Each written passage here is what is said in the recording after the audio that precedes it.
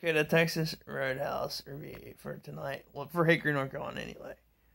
The best fucking crew I've ever had. That was a pretty good experience. There are some, there is some cool ass people in Hickory. So anyway, some interesting people in Hickory. Anyway, some interesting people. I like the food. It was good for what you got for the part for the for the um for the the the amount you paid for anyway. Like it's pretty good.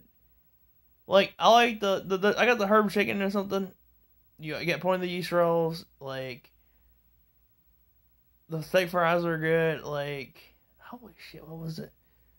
The um, oh my god, the Caesar salad was pretty good. I like Texas Roadhouse.